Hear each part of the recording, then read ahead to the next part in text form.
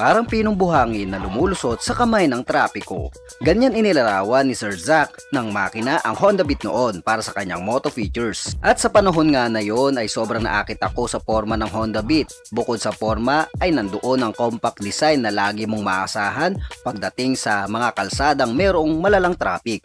At kung pang-araw-araw na gamitan nga ito o pang partner panghanap buhay ay masasabi ko na isa ito sa mga the best na maire-recommend ko sa inyo mga idol dahil sobrang sobrang tipid sa gasolina, madaling imaneho at mga features na naidagdag sa bagong Honda Beat version 3. At ito na nga mga idol, after a long long years, ito na nga ang Honda Beat version 3 para sa mas magandang dulot para sa mga consumers na mas makakatulong sa mga masisipag na nagtatrabaho, nag-aaral at walang inatupag kundi mag-chill ride na lang. Sana all.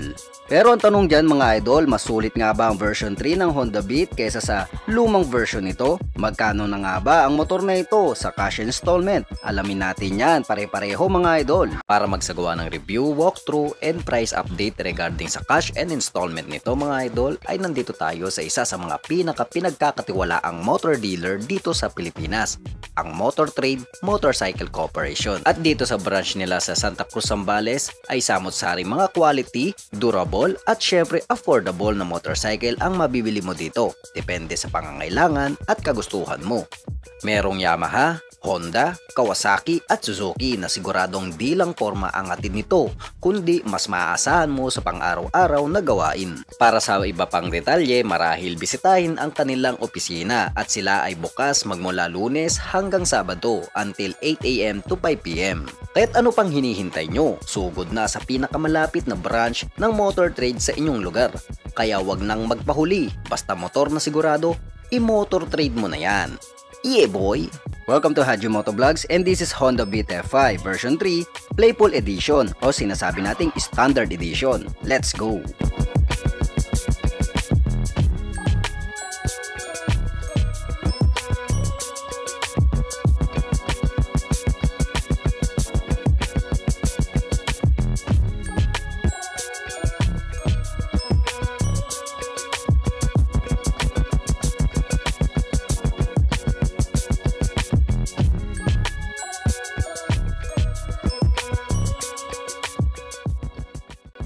Unahin natin sa kanyang makina na mayroong kargadong 110cc engine displacement with single cylinder, single overhead cam, 4-stroke po siya at 2 valves at gumagamit ng air-cooled para sa kanyang cooling system o pagpapalamig ng makina. Pagdating sa kanyang transmission, ito ay gumagamit ng fully automatic transmission na kung saan napakadaling imaneho dahil gas and go lamang ito at recommended ito sa mga baguhan o lady rider. Fuel system naman ito ay equipped na ng PGMFI o Programmable Fuel Injection na kung saan mas kalkuladong paggamit ng gasolina sa mababa o mataas mang RPM at ito ay may average para sa kanyang mileage na 58.2 km per liter.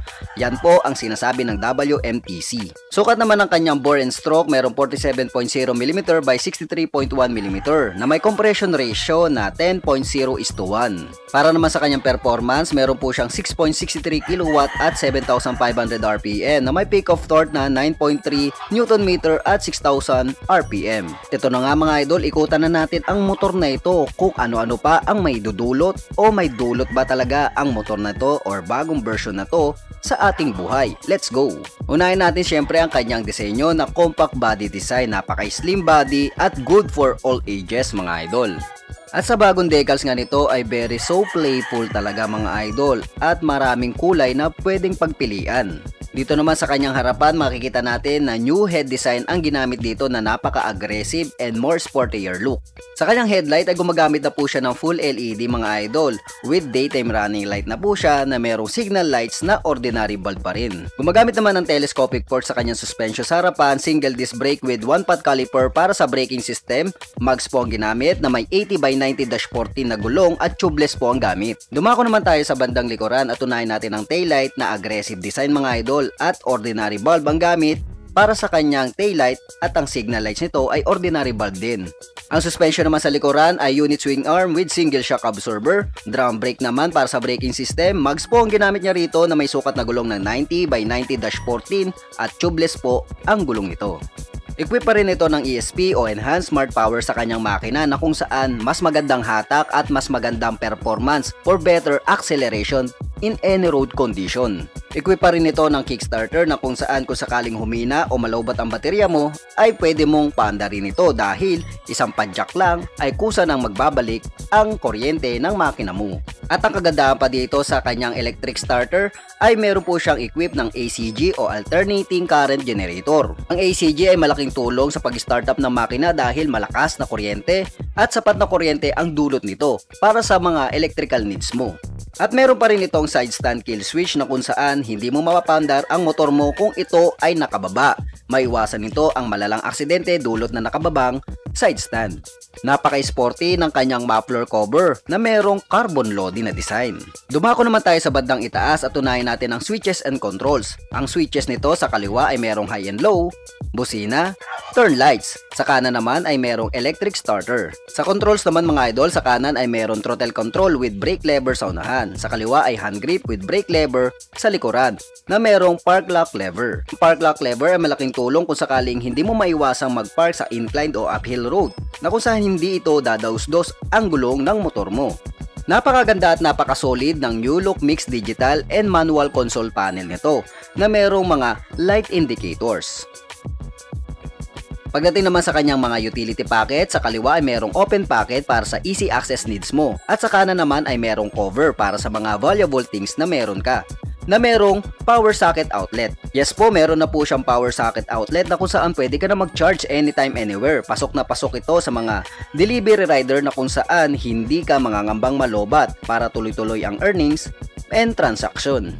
Integrated shutter lock naman ang ginagamit nito sa kanyang susian napaka-safe mga idol with seat opener button. At para sa riding comfort experience ay meron itong flat footboard at di lang yon mga idol, ang gamit ito para sa mga excess baggage mo na kung saan pwede mo dito ilagay.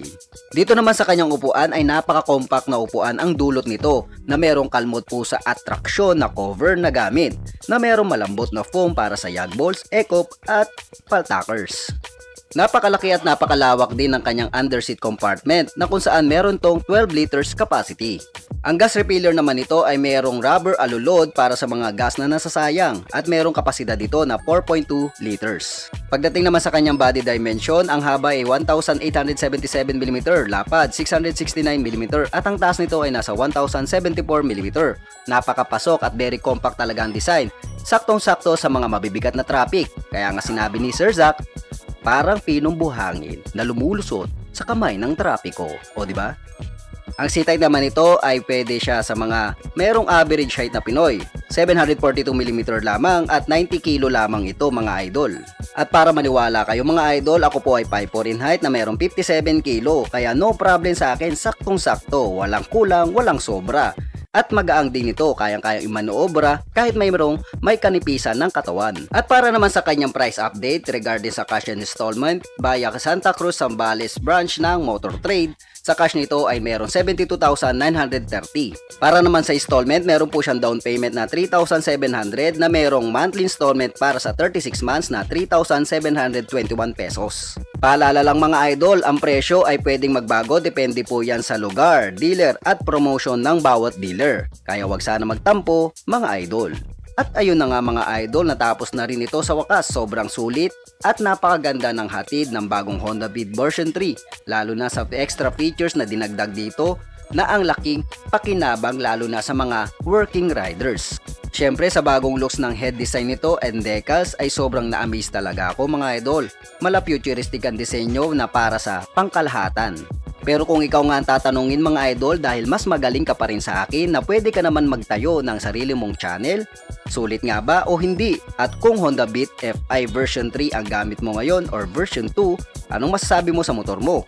Handa ka bang mag-upgrade ng version 2 from version 3 o hindi? I-comment mo na yan para mapag-usapan na. At para tapusin ang video na to, huwag sanang kalimutan mag-subscribe at ihit ang notification bell para lagi kang updated sa mga ganitong klaseng impormasyon tungkol sa mga bago at lumang mga motor. At i-like at i-follow nyo na rin ang ating munting page na Haji Motovlogs TV. Ito po si Haji from Haji Motovlogs. Thank you for watching and peace out!